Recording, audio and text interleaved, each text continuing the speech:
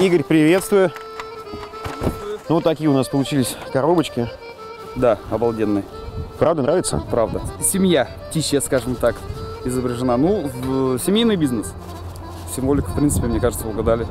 Ну все, спасибо. Поедем проверять продукцию.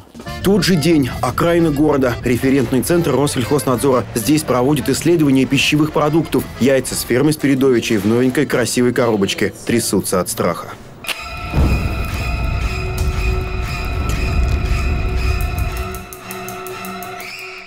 Должны поставить на термостатирование в термостат с температурой 37 градусов.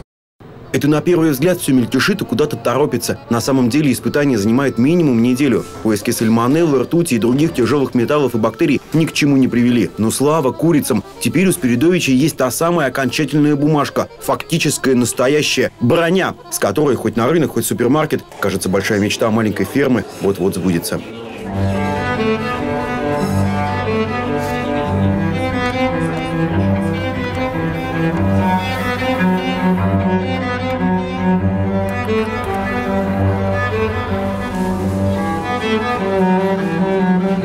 Этой встречи они ждали с самого начала проекта. Фермер Игорь Спиридович и представитель ритейла Владислав Шевнин мечтают о настоящем партнерстве уже не первый год, но в отношениях маленьких ферм и больших сетей вечно какие-то проблемы. Вот они и встретились, чтобы их обсудить. И кажется, что сейчас будет мясо.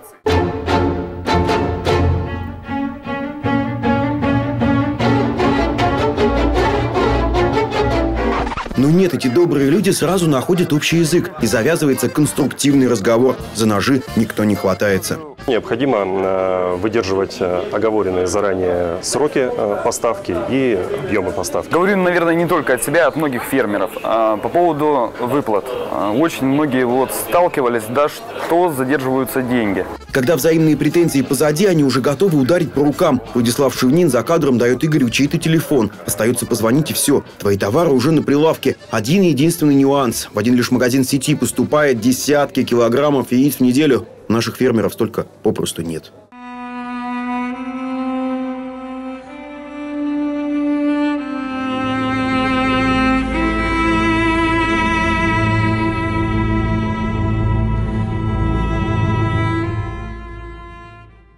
Парень нормальный, с удовольствием пробуем, обсудим э, условия реализации, э, стоимость и э, если это действительно качественный продукт, Это здорово, э, очень довольно-таки это прикольно.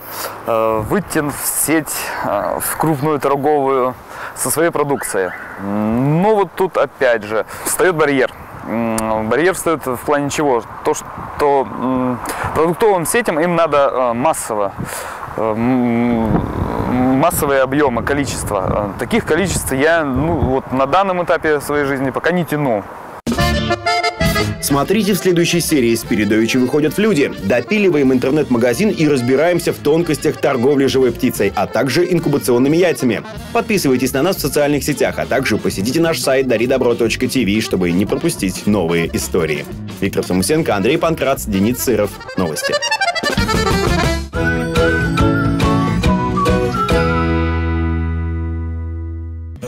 Партнер проекта – православный магазин «Фавор».